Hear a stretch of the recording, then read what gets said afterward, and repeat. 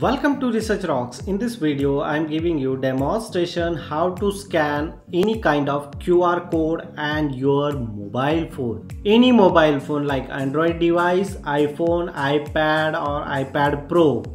You can access very easily any kind of barcode or any kind of scan code without any third party software. It's very easy and helpful tips and tricks. So let's start as a demonstration. Before start the demonstration please subscribe our youtube channel.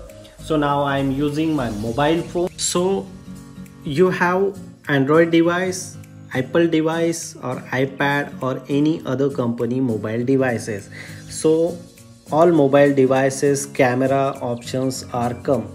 You open the camera and then search as a QR code of any kind of QR code. Just like open and just click of the picture but without clicking you just open your camera and just look at this. This this is my YouTube channel QR code I already created. So open this QR code and one more example.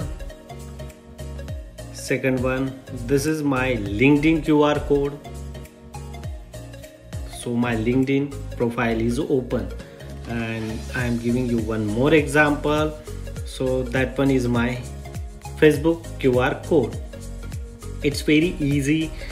Earliest video i already explained how to create qr code.